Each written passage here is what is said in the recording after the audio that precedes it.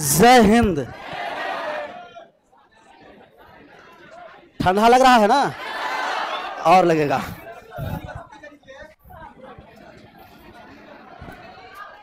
ये सब कल हो चुका था। Natural number integer whole number ये सब। कॉपी कलम लाए हैं ना? आज लिखना स्टार्ट करना। थोड़ा सा कल वाले बात को समझना। सबसे पहले बताया कि नंबर को कौन सा नंबर एक है? कॉम्प्लेक्स नंबर समिश्र संख्या। और कॉम्प्लेक्स नंबर दो भाग में बटेगा। एक रियल और एक इसे रेशनल और इरेशनल रेशनल रेशनल में इंटीजर और डेसिमल आएगा। और डेसिमल में कौन कौन से आएगा? टर्मिनेटिंग डेसिमल और repeating non terminating non repeating किसमें आएगा? रेशनल नंबर में। हेडिंग डाल दिया ऊपर नंबर सिस्टम कौन सा system number system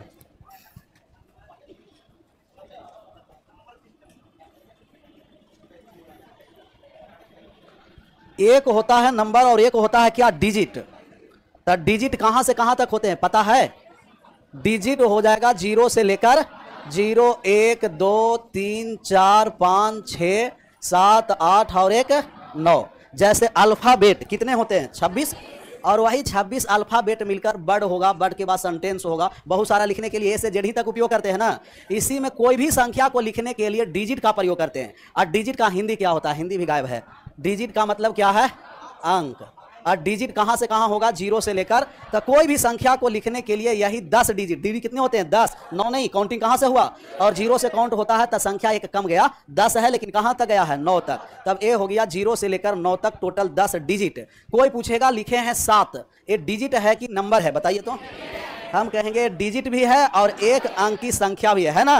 one digit के नंबर सात को डिजिट भी कहेंगे और सात को नंबर भी कहेंगे। डिजिट सात है नंबर कहेंगे तो कहेंगे एक अंकों की संख्या है। लेकिन सत्ताईस या उनतीस लिख दिए। ये उनतीस डिजिट में आया, नहीं। अब ये उनतीस हो गया नंबर और कितने अंकों की संख्या है? दो अंकों की संख्या। लिख दिए पाँच सौ अट्ठाईस। ये डिजिट है? नहीं। ये क्या है? नंबर है। और नंबर कितने डिजिट का है? तीन डिजिट का। तब एक अंक के सबसे बड़ी संख्या है, पता कि नहीं पता है? है ना? एक एक अंकों की सबसे बड़ी संख्या कौन सा होगा? नौ। और दो अंकों का? तीन अंक। सब क्लियर है ना? ऐसे आगे बढ़ता चलेगा। और सबसे छोटा संख्या नेचुरल नंबर एक हो गया। नंबर कहेगा समझना नेचुरल नंबर इंटीजर कह दिया तो छोटा हम लोग नहीं निकालेंगे। माइनस अनंत तक चला जाएगा। तो संख्या एक, दो अंक वाले कितना हो गया? अब कितना हो गया? अब कितना हो गया? आगे बढ़ता जाएगा ना? तो सबसे छोटा संख्या पूछेगा कि एक अंकों की सबसे छोटी संख्या प्राकृतिक में एक, और एक अंक के सबसे बड़ी संख्या कौन सा हुआ? नौ। दो अंकों की सबसे बड़ी संख्या निन्यानवे, और दो अंकों की सबसे छोटी संख्या दस। अपने आप में गौरवान्वित महसूस हो रहा है ना कि याद है ये? दो अंक वाले और तीन अंक वाले। ये है आपको डिजिट्स और एक नंबर है। तो नंबर और डिजिट में फ़र्क समझ में आ गया ना? डिजिट ज़ीरो से लेकर कहाँ तक हुआ? नौ तक। और नंबर्स तो जितना डिजिट का एन से डिजिट तक नंबर लिख सकते हैं। ये संख्याएँ हैं। हेडिंग डालिए classification of number classification of number संख्याओं का वर्गीकरण। Classification of number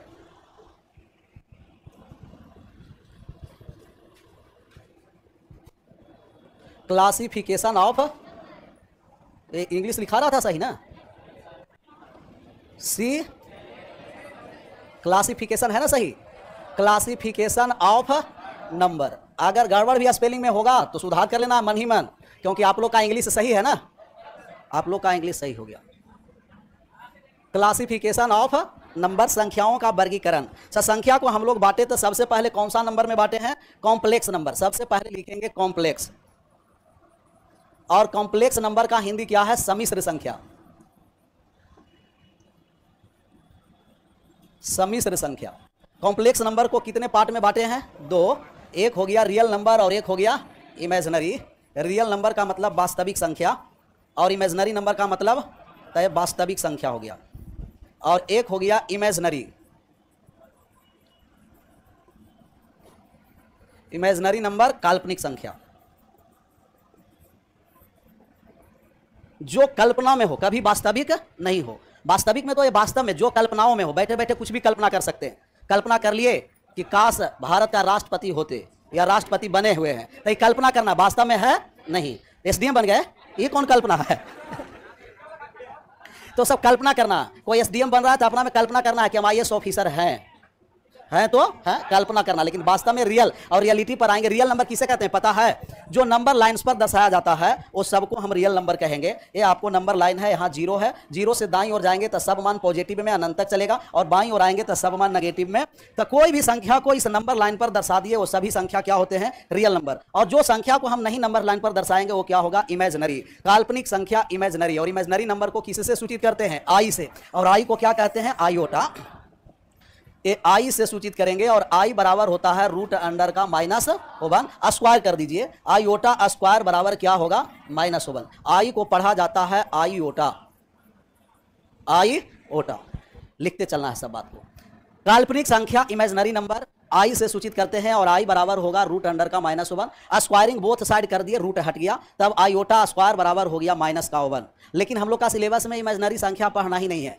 हम लोग का सिलेबस नाइन टेंथ का है और नाइन टेंथ में इमेजनरी नहीं इमेजनरी कहाँ से स्टार्ट होता? है इलेवंथ से। तो इमेजनरी नंबर नहीं पढ़ना है। कौन सा संख्या पढ़ना है? रियल वास्तव में रियल पढ़ना भी चाहिए। इमेजनरी नंबर क्या? लेकिन ये कम से कम इतना ज़रूरी याद रखना है। इमेजनरी को आई से सूचित करते हैं। आई बराबर under root minus one i square बराबर क्या हो गया? अच्छा आई स्क्वायर का मतलब कोई भी संख्या को आप वर्ग करते हैं। वर्ग करने के बाद नेगेटिव आ जाएगा तो वो इमेजनरी होगा। और वर्ग करने के बाद जैसे माइनस तीन, हमें पता नहीं है कि काल्पनिक है कि इमेजनरी है, इसे स्क्वायर कर दीजिए। तो स्क्वायर कर दिए तो कितना हो गया? प्लस का नौ। प्लस में आ गया ना? और स्क्वायर करने के बाद जो रिज़ल्ट पॉजिटिव में आएगा, वो रियल नंबर होगा। और स्क्वायर करने के बाद जो रिज़ल्ट नेगेटिव में आएगा, वो क्या हो जाएगा? इमेजनरी जैसे आप बताइए कि माइनस का रूट थ्री काल्पनिक संख्या है कि वास्तविक संख्या है? वास्तविक संख्या, पहले वर्ग कर दीजिए। वर्ग किए तो माइनस के दो बार गुना करेंगे तब प्लस हो गया। रूट थ्री का स्क्वायर कितना हो गया? थ्री, रूट समाप्त, प्लस तीन। और प्लस तीन किसमें आएगा? लेकिन अगर रूट के अंदर माइनस थ्री है तो अब इसे स्क्वायर करेंगे, तब सिर्फ़ रूट हटा, माइनस तीन। वर्ग करने के बाद कोई भी संख्या नेगेटिव में आएगा, तब इमेजनरी और वर्ग करने के बाद पॉजिटिव में आ जाएगा तो क्या हो जाएगा? वास्तविक संख्या रियल नंबर आएगा। और रियल नंबर को आर से किससे सूचित करते हैं? यार हो गया या आयोटा इसे सिर्फ़ याद रखना कि हम लोग इमेजनरी को आयोटा इसे आयोटा लिखना है बहुत सारे आई हटा देते हैं, बाद में पढ़ने लगते हैं लोटा हाँ बहुत है ऐसा बहादुर। बाद में कोपचे में आते हैं, कहते हैं, सर, ये लोटा का मतलब क्या होता है? कि लोटा फिर वो बल्कि आई से जो सूचित किए थे इमेजनरी में ये लोटा नहीं आया, क्या है? आई ओटा। किसी से भी याद रखना है, लेकिन कोई पूछे उस समय लोटा थारी प्लेट का नाम नहीं रखना। क्या है? आई ओटा और आई ओटा का अंदर रूट रूट के अंदर माइनस रहेगा वो सब क्या हो जाएगा? पहले माइनस रहेगा तो रियल, लेकिन रूट के अंदर में माइनस रहेगा, वो क्या हो गया? इमेजनरी। अब वास्तविक संख्या पर आते हैं और वास्तविक संख्या को हम लोग दो पार्ट में बांट देंगे। एक इंटीजर हो जाएगा और एक क्या हो जाएगा? डेसिमल इंटीजर इंटीजर के मतलब पूर्णांक और डेसिमल का मतलब दशमलव? डेसिमल दशमलव। जो पॉइंटों में हो। रियल नंबर दो पार्ट में बट गया, एक इंटीजर और एक डेसिमल इंटीजर के बारे में कुछ कल बताए थे, याद होगा। हाँ आ रहे हैं, पहले इंटीजर और डेसिमल समझिए, इसके बाद रेशनल बता देंगे। रियल नंबर को इंटीजर और डेसिमल उसे बोल सकते हैं रेशनल और इरेशनल भी। यही डेसिमल से रेशनल और इरेशनल अलग होता है। डेसिमल में एक होता है टर्मिनेटिंग और एक रिपीटिंग नॉन टर्मिनेटिंग और नॉन रिपीटिंग इसको क्या कहते हैं? इरेशनल और बाकी सभी को रेशनल आते हैं पहले इतना बात को समझना। चलिए, कम से कम कल वाले बात तो याद है ना? कल क्या बताए थे? रेशनल और इरेशनल लेकिन आज इसमें पढ़ लिया इंटीजर और डेसिमल इंटीजर प्राकृतिक संख्या को पूर्णांक संख्या कहेंगे कि नहीं कहेंगे? ये सम और ऑल रीजनिंग पढ़े हैं? सम और ऑल सिलोगिज्म में। सम ऑल का केस बनता है तो सभी प्राकृतिक संख्या पूर्णांक संख्या है कि नहीं है? है। लेकिन सभी पूर्णांक संख्या को प्राकृतिक संख्या नहीं कहते तो सभी पूर्णांक संख्या पूर्ण संख्या है कि नहीं? नहीं। सभी पूर्णांक पूर्ण नहीं है, क्योंकि पूर्ण ज़ीरो और प्राकृतिक है, और पूर्णांक में नेगेटिव भी है। सभी पूर्णांक पूर्ण संख्या नहीं है, परंतु सभी पूर्ण संख्या पूर्णांक संख्या है। ये छपा गया है। इसे दूसरा पेज पर हम लोग लेंगे। रियल नंबर और क्या है? Imaginary number. और रियल इमेजनरी को हम लोग बांट दिए हैं। एक रियल नंबर को बांटे डेसिमल और इंटीजर ये रियल नंबर है। रियल नंबर को दो पार्ट में हम लोग बांटे। वास्तविक संख्या, एक डेसिमल और एक क्या हो गया? इंटीजर अच्छा इंटीजर हो गया माइनस इन्फिनिटिव से लेकर के प्लस इन्फिनिटिव तक। ये इंटीजर है। पूर्णांक। और एक हो गया आपको डेसिमल डेसिमल दशमलव। सबसे पहले पूर्णांक पर आइए। पूर्णांक को हम कहेंगे कि माइनस इन्फिनिटिव से लेकर के कहाँ तक है? Plus infinitive. माइनस इन्फिनिटिव हो गया, माइनस तीन, माइनस दो, माइनस एक, ज़ीरो, फिर आ गया प्लस एक, प्लस दो, प्लस तीन, प्लस चार, dot dot dot dot plus अनंत तक, यही हुआ इंटीजर माइनस इन्फिनिटिव से लेकर के कहाँ तक है? प्लस इन्फिनिटिव तक ये इंटीजर हो गया। और इंटीजर में देखिए पॉजिटिव इंटीजर इसे कहते हैं हम लोग। प्लस एक से लेकर के प्लस इन्फिनिटिव तक, ये कौन सा इंटीजर हो गया? पॉजिटिव इंटीजर धनात्मक पूर्णांक संख्या। और धनात्मक पूर्णांक संख्या को ही कहते हैं नेचुरल नंबर कौन सा नंबर बोलते हैं? नेचुरल नंबर प्राकृतिक संख्या। प्राकृतिक संख्या। पॉजिटिव इंटीजर धनात्मक पूर्णांक संख्या नेचुरल नंबर प्राकृतिक संख्या कहलाती है। और नेगेटिव वाले तो कोई संख्या नहीं, वो सिर्फ़ इंटीजर में आएगा। लेकिन ज़ीरो से हम अनंत तक चल गए। कहाँ से चले? ज़ीरो से अनंत तक। ज़ीरो से अनंत तक वाले को बोलते हैं नन नेगेटिव इंटीजर इसे बोला जाता है non negative non negative integer non negative integer का मतलब अऋणात्मक अऋणात्मक पूर्णांक। अऋणात्मक पूर्णांक का मतलब ऋणात्मक नहीं होना चाहिए। अच्छा ऋणात्मक नहीं होना चाहिए तो ज़ीरो ऋणात्मक है? नहीं। तो नन नेगेटिव इंटीजर में ज़ीरो भी शामिल रहेगा। इसे नन नेगेटिव इंटीजर अऋणात्मक संख्या कहेंगे। और अऋणात्मक पूर्णांक संख्या ही कौन सा संख्या होता है? होल नंबर पूर्ण संख्या होता है। पूर्ण संख्या, जो प्राकृतिक संख्या में क्या शामिल हो जाता है? ज़ीरो। और ज़ीरो से लेकर माइनस इन्फिनिटिव यहाँ फिर से आ जाइए। ज़ीरो से लेकर के माइनस इन्फिनिटिव तक के नंबर को हम कहेंगे non positive integer non positive non positive integer अधनात्मक पूर्णांक संख्या।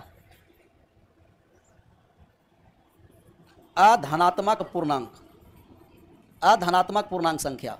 अधनात्मक पूर्णांक संख्या का मतलब उसमें धनात्मक और धनात्मक नहीं होगा, तब ज़ीरो धनात्मक संख्या है, नहीं। तब ज़ीरो आपको नन पॉजिटिव में भी शामिल है और नन नेगेटिव में भी शामिल है। जैसे लिखा हुआ है, छाप लीजिए। ज़रूरी नहीं है कि उसी पेज में, दूसरा पेज में भी लिख सकते हैं। ज़ीरो से लेकर इन्फिनिटिव तक, इसे non negative integer whole number पूर्णांक संख्या कहेंगे और ज़ीरो से लेकर माइनस इन्फिनिटिव तक नन पॉजिटिव इंटीजर अऋणात्मक पूर्णांक संख्या कहेंगे।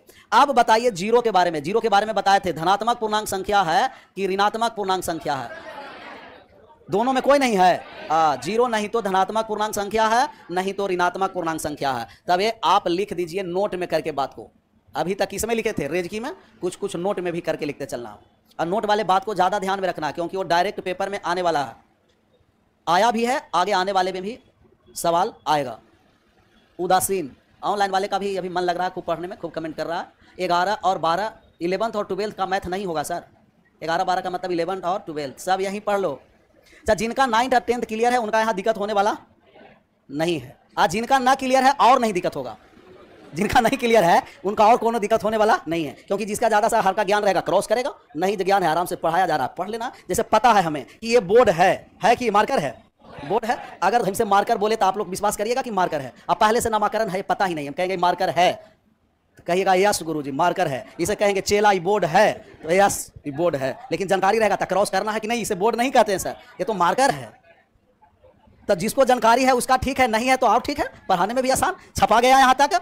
नेचुरल नंबर, अबे नहीं लिखाएँगे कि नेचुरल नंबर गिनती की संख्या को कहते हैं। काउंटिंग नंबर क्या कहलाता है? नेचुरल नंबर कहाँ से स्टार्ट होगा? एक से। होल नंबर कहाँ से स्टार्ट होगा? ज़ीरो से। और इंटीजर पॉजिटिव भी आएगा और नेगेटिव भी। नोट में करके लिखाए थे कि नहीं लिखाए थे? नहीं तो नोट में करके लिख दीजिए। नोट वाले पार्ट को लिखिए कि ज़ीरो नहीं तो धनात्मक पूर्णांक संख्या। ज़ीरो नहीं तो धनात्मक पूर्णांक संख्या, ज़ीरो नहीं तो धनात्मक पूर्णांक संख्या, ज़ीरो नहीं तो धनात्मक पूर्णांक संख्या, नहीं तो ऋणात्मक पूर्णांक संख्या। ज़ीरो नहीं तो धनात्मक पूर्णांक संख्या तथा नहीं तो ऋणात्मक पूर्णांक संख्या है। नहीं तो ऋणात्मक पूर्णांक संख्या है। यह एक उदासीन संख्या है, न्यूट्रल नंबर। यह एक उदासीन संख्या है। यह एक उदासीन संख्या है। यह एक उदासीन संख्या है। कौन सा संख्या है? उदासीन न्यूट्रल नंबर इसमें न पॉजिटिव होगा और न negative zero is neither positive nor negative और zero is neutral number zero एक ऐसा संख्या है। तब ये नेचुरल नंबर का मतलब ही एक से स्टार्ट होगा। कहीं भी नेचुरल नंबर हमें लिखना है तो नेचुरल नंबर काउंटिंग नंबर को कहेंगे प्राकृतिक संख्या को। और प्राकृतिक संख्या कहाँ से स्टार्ट होती है? एक से, एक, दो, तीन, चार, पाँच, आगे बढ़ता जाएगा। छः, सात, आठ, नौ और पहले दस ऐसे लिखते थे, क्योंकि ज़ीरो नहीं था ना तो अब दस ऐसे नहीं, अब दस ऐसे लिखाएगा। दस के बाद ग्यारह डॉट डॉट डॉट डॉट कहाँ तक चला जाएगा? अनंत तक अच्छा आप बताइए क्या इसमें ओवन पॉइंट टू है प्राकृतिक में? नहीं है, क्योंकि एग्जैक्ट नंबर है पॉइंट वाला इसमें मान नहीं आएगा। और नेचुरल नंबर के बाद एक कौन सा नंबर हो गया? होल नंबर पर आ जाइए होल नंबर होल नंबर का मतलब पूर्ण संख्या ना? और पूर्ण संख्या कहाँ से स्टार्ट होती है? पूर्ण संख्या ज़ीरो से स्टार्ट होगी। ज़ीरो, एक, दो, तीन, ऐसा ही बढ़ता चलेगा कहाँ तक? अनंत तक। और इंटीजर है जो ज़ीरो भी हो पॉजिटिव भी हो और नेगेटिव तीनों आ जाए। उसी को इंटीजर कहते हैं। इंटीजर नंबर में कहिएगा इंटीजर जो आ गया सर इसमें ज़ीरो भी होगा पॉजिटिव भी होगा और नेगेटिव भी होगा। वही पूर्णांक संख्या है। ज़ीरो ज़ीरो से दाई ओर चलेंगे तो सब प्लस में प्लस एक, प्लस दो, प्लस तीन, प्लस चार, कहाँ तक चलता चलेगा? अनंत तक। इधर आ गया था माइनस एक, माइनस दो, माइनस तीन, डॉट डॉट डॉट, माइनस। तब पूर्णांक संख्या को नेगेटिव और पॉजिटिव पूर्ण संख्या को नेगेटिव और पॉजिटिव के द्वारा दर्शाते हैं। वह इंटीजर होता। है पूर्णांक संख्या में नेगेटिव नंबर भी आएँगे पॉजिटिव नंबर भी आएँगे और ज़ीरो तीनों आएँगे। नेगेटिव पॉजिटिव और ज़ीरो ज़ीरो नहीं तो नेगेटिव संख्या है और नहीं तो पॉजिटिव संख्या है। आप यहाँ फॉर्मूला दो तीन हम लोग याद रखेंगे। एक प्राकृतिक संख्या का योग का फॉर्मूला आप लोग का याद होगा। है याद? N into n plus one by two अब याद है प्राकृतिक संख्या के वर्गों का योग, घनों का योग, ये सब आपको यूज़ होगा आगे चल करके। तब प्राकृतिक संख्या हो गया होल नंबर और कैसा नंबर हो गया है? इंटीजर नंबर हुआ इंटीजर यहाँ तक क्लियर है? हम लोग कहाँ से बांटना स्टार्ट किए थे, कहाँ चला गया? यहाँ है ना? ये रियल नंबर में हो गया डेसिमल और डेसिमल में कौन कौन सा डेसिमल है? एक हो गया पॉजिटिव डेसिमल में टर्मिनेटिंग डेसिमल रिपीटिंग डेसिमल और नॉन टर्मिनेटिंग नॉन रिपीटिंग पहले इसको कंप्लीट कर लेते हैं, इसके बाद डेसिमल में आएँगे। ये सर्कल के अगर फॉर्म में आपको दर्शाना है तो ये जो सबसे बड़ा वाला जो सर्कल दिखाई दे रहा है वाइट वाले, दिखाई दे रहा है ना? बड़ा करने की आवश्यकता नहीं है। और ये जो आपको बड़ा वाला सर्कल है, एक और सर्कल दिखाई देता है, हरा वाला ले लेते हैं। लाल। लाल, पीला और लाल वाला यहाँ दिखाई देगा। नहीं ना? तो एक और सर्कल ले लेते हैं, कौन सा कलर का? लाल।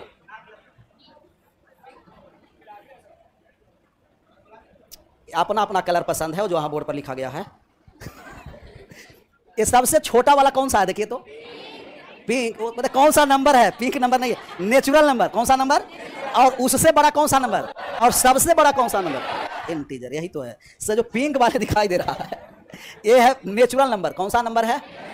नेचुरल नंबर है प्राकृतिक संख्या। प्राकृतिक संख्या, सबसे छोटा प्राकृतिक संख्या। और ये जो दिखाई दिया हरा वाले, ये हो गया होल नंबर। कौन सा नंबर हो गया? Whole number. हरा से इसमें लिख देते हैं, ये होल नंबर हो गया। पूर्ण संख्या। और जो सबसे बड़ा ये दिखाई दे रहा है, ये कौन सा नंबर हो गया? इंटीजर हो गया, इंटीजर। ये नहीं हो पा रहा है ना?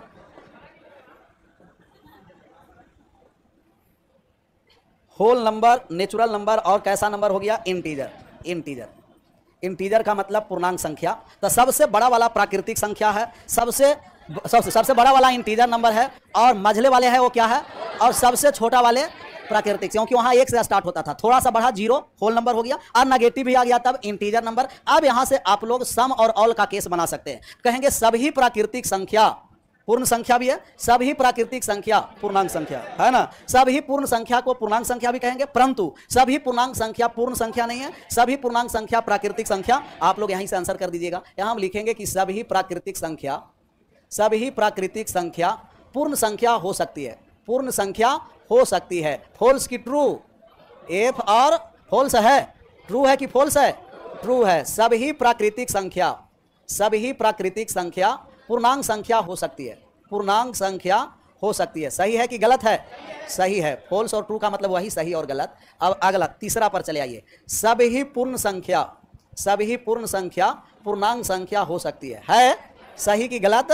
सही है। सब सही क्यों हो रहा? गलत भी होना चाहिए ना। अब गलत होगा क्या? अच्छा अब गलत समझिए। कुछ प्राकृतिक संख्या या कुछ प्राकृतिक क्यों?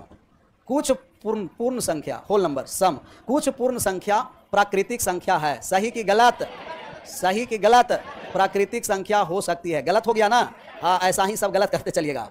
अब पांचवा। कुछ पूर्णांक संख्या, पहले लिखने दीजिए ना, उसके बाद फॉल्स ट्रू करेंगे। कुछ पूर्णांक संख्या प्राकृतिक संख्या हो सकती है। प्राकृतिक संख्या हो सकती है, हो सकती है। अब एक और लिख दिए, अगला। कुछ पूर्ण संख्या कुछ पूर्णांक संख्या कुछ पूर्णांक संख्या कुछ पूर्णांक संख्या, पूर्ण संख्या हो सकती है। पूर्ण संख्या हो सकती है, हो सकती है। सही है कि गलत है? सही है। और ये सातवां पॉइंट आ गया। सभी पूर्णांक संख्या सभी पूर्णांक संख्या प्राकृतिक संख्या हो सकती है। प्राकृतिक संख्या हो सकती है। सही कि गलत? गलत। गलत। और अगला हो गया आठवां पॉइंट। कि सभी पूर्ण संख्या, सभी पूर्ण संख्या प्राकृतिक संख्या हो सकती है। प्राकृतिक संख्या हो सकती है। सही है। सही और गलत में फिफ्टी फिफ्टी हैं आप लोग। और एक नाइन्थ नंबर पॉइंट लिख देते हैं कि सभी पूर्णांक संख्या, सभी पूर्णांक संख्या पूर्ण संख्या हो सकती है। पूर्ण संख्या हो सकती है। ये टोटल नौ पॉइंट हम लोग लिखे हैं और यही भेन डायग्राम से आंसर करना है। अच्छा छोटा वाले, बड़ा वाले में तो ऑलरेडी समाहित है, लेकिन बड़ा वाले, ये है इंटीजर क्या है?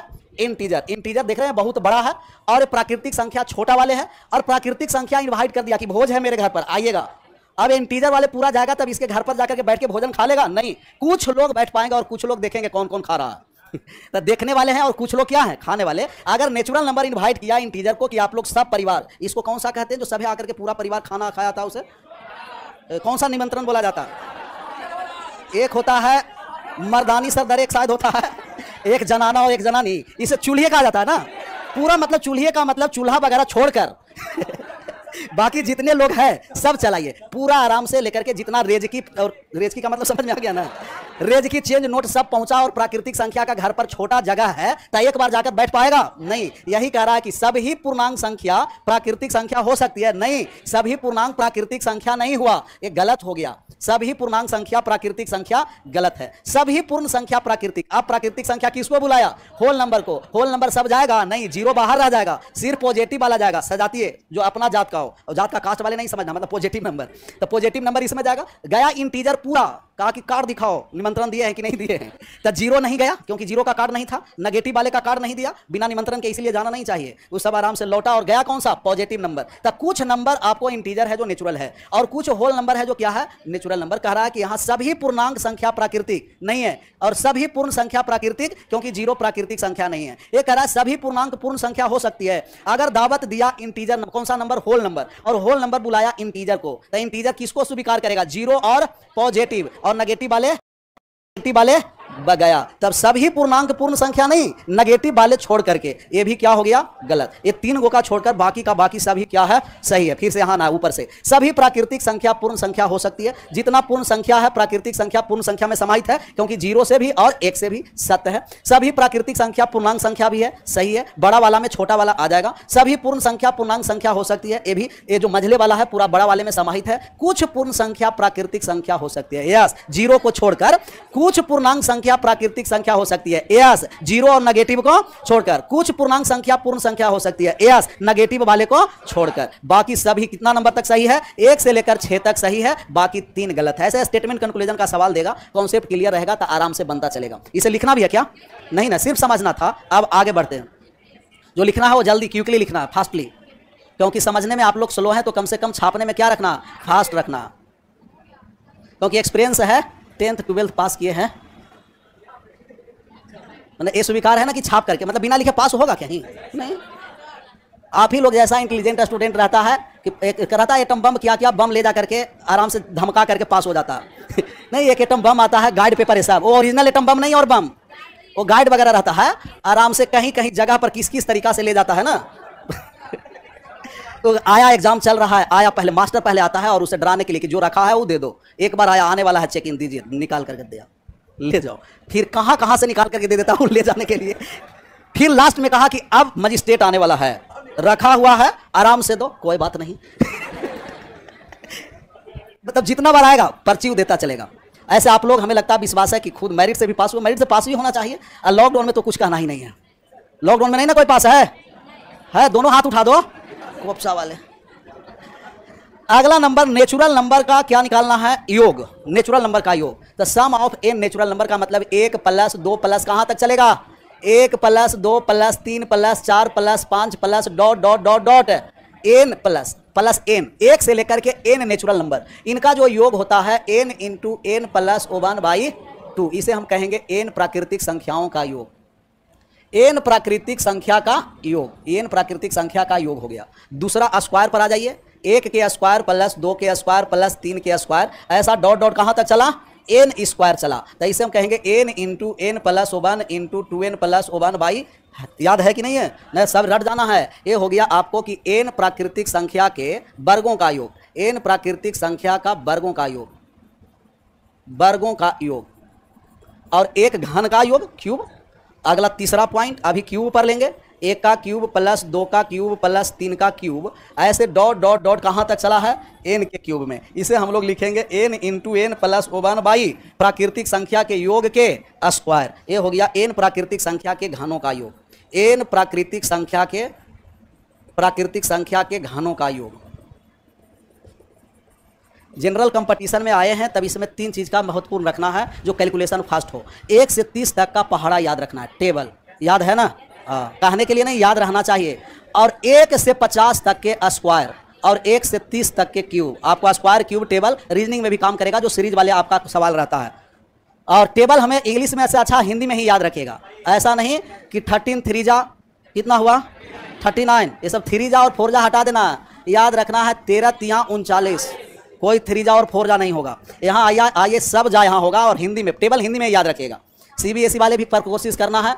कि छब्बीस गुना नौ कितना हो गया? कितना किसका याद था यहाँ टेबल? छब्बीस नमे दो तीन चार? नहीं, छब्बीस नमे दो तीन चार, दो सौ चौंतीस। एक सवाल इस पर ले, बना दीजिएगा, लिख दीजिए। प्रथम प्रथम 21 पूर्ण संख्या का योग ज्ञात करें। प्रथम 21 पूर्ण संख्या का योग ज्ञात करें। प्रथम 21 पूर्ण संख्या का योग, फॉर्मूला ऊपर लिखा हुआ। प्रथम 21 पूर्ण संख्या का योग निकालना है।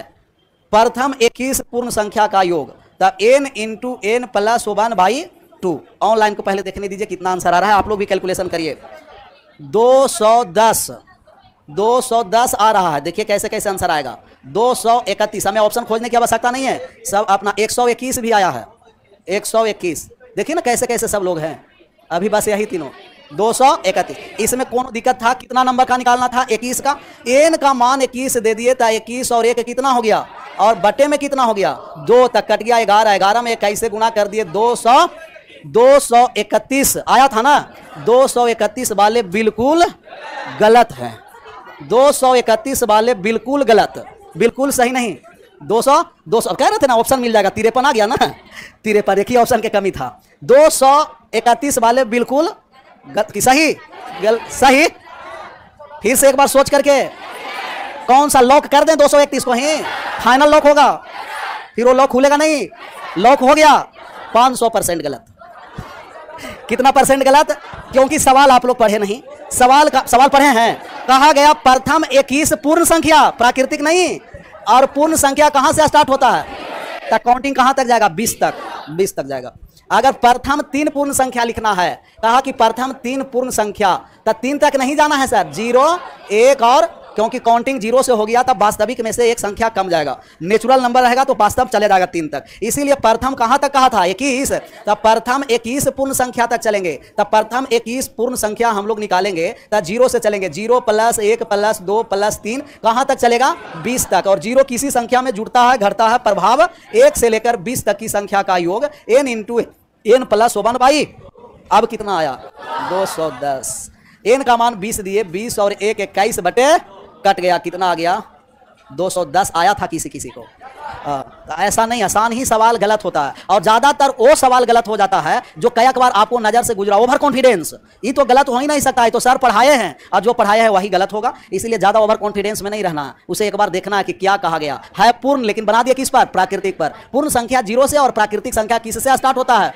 प्राकृतिक संख्या एक से स्टार्ट होता है। अब हेडिंग डालिए हम लोग का डेसिमल थोड़ा सा समझ लेते हैं। डेसिमल डेसिमल समझते हैं कि इसी को सम और विषम कर डेसिमल छोड़ दीजिए। इवन नंबर और ऑड नंबर समझना है। एक इवन नंबर हो गया है और एक कौन सा नंबर हो गया? अच्छा सम संख्या। कौन सी संख्या? सम संख्या। और एक हो गया आपको ऑड नंबर। ऑड नंबर का मतलब विषम संख्या। ऑड नंबर विषम। सम संख्या किसे कहते हैं? है पता? डिविजिबल बाई और नोट डिविजिबल बाई टू और नंबर जो संख्या पूर्णतः दो से विभाजित हो, उसे सम संख्या कहेंगे। और जो संख्या दो से पूर्णतः विभाजित नहीं हो, उसे विषम संख्या कहेंगे। आप सबसे पहले बताइए कि पाँच को सम संख्या कहेंगे कि विषम संख्या कहेंगे? विषम? ये विषम संख्या है। कैसे? दो से विभाजित? कौन कहता है विभाजित नहीं है? है। पॉइंट में विभाजित? एग्जैक्ट विभाजित होना है। पॉइंट में नहीं इंटीजर होना है। क्या होना है? भागफल इंटीजर होना इसे भागफल बोलेंगे ना? जितना बार में भाग लग जाता है, उसे सब भाग देते हैं भाजक। जिसमें भाग लगाए, भाज। जितना बार में भाग लगा और नहीं कुछ बचा, शेषफल। तब इसे भागफल कहेंगे और भागफल इंटीजर हो। इंटीजर का मतलब ज़ीरो हो पॉजिटिव नंबर हो नेगेटिव नंबर हो। तो जो संख्या दो से विभाजित हो जाए, दो से क्या हो? दो से पूर्णतः विभाजित। पूर्णतः विभाजित। तो दो संख्या दो से पूर्णता विभाजित होगा, वो संख्या क्या होगा? सम संख्या और दो से पूर्णता विभाजित न हो। दो से पूर्णता विभाजित न हो। विभाजित न हो। उसे हम कहेंगे विषम संख्या ऑड नंबर अच्छा आप बताइए कि 16 को ऑड कहेंगे कि इवेन कहेंगे? इवेन दो से कट गया। दो से कट गया। कितना बार में? सैंतीस ऑड की इवन ऑड पुनता नहीं कटा। अब अड़सठ ऑड की इवन कट गया। जो पुनता कट जाएगा, वह इवेन नंबर, और पुनता नहीं कटेगा, वो ऑड नंबर। चाहे हम मामला फंसता है ज़ीरो के बारे में। ज़ीरो बताइए कि ज़ीरो आपको पॉजिटिव इंटीजर नेगेटिव इंटीजर में समझ लिए थे, क्या है? उदासीन। नहीं पॉजिटिव और नहीं। ज़ीरो ऑड नंबर है कि इवेन इंटीजर है। ऑड इंटीजर की इवेन इंटीजर इवेन क्यों? क्योंकि दो से कट रहा है। कट रहा है। कट रहा है दो से। ज़ीरो में किसी भी संख्या से भाग देते हैं तो ज़ीरो आता। है लेकिन संख्या में ज़ीरो से भाग देंगे तो इन्फिनिटिव होगा। और ज़ीरो में ज़ीरो से भाग देंगे, अपरिभाषित अनडिफाइन अनडिफाइन हुआ। और ये दोनों नंबर कोई डिफाइन नहीं हुआ है, अनंत ही अनडिफाइन है, और अनडिफाइन क्या है? अनंत का मतलब कुछ नहीं। अनंत का मतलब संख्या नहीं है, एक आपको शब्द अनंत तक चले जाओ, अनंत कोई संख्या नहीं है। अनडिफाइंड का मतलब जिसे हम परिभाषित नहीं कर सकते हैं। तो दो में ज़ीरो से भाग दिए, कट गया। अच्छा कट गया कितना बार में? अच्छा ज़ीरो बार में कट गया तो इसे हम क्या कहेंगे? समपूर्णांक संख्या की विषम पूर्णांक संख्या? समपूर्णांक संख्या ना? फिर बदलना नहीं है। ये ज़ीरो में तीन से भाग दिए, कट गया। नहीं कटा? ज़ीरो में तीन से भाग दिए, ज़ीरो बार में? ज़ीरो में पाँच से भाग दिए, कट गया ज़ीरो बार में। ज़ीरो में सात से भाग दिए, कट गया ज़ीरो बार में। अब बताइए, सम संख्या कहेंगे कि विषम संख्या कहेंगे? सम और विषम दोनों की सम संख्या। दोनों नहीं, अभी भी हम कहेंगे कि सम संख्या ही है, क्योंकि ये नहीं कहा कि सिर्फ़ दो से विभाजित हो। कहाँ लिखा हुआ? लिखा हुआ कि सिर्फ़ दो से विभाजित हो। कह रहा कि दो से विभाजित होने वाली संख्या, जैसे छह सम संख्या की विषम और तीन से नहीं कट रहा। तब क्या कहेंगे? विषम और सम दोनों? नहीं।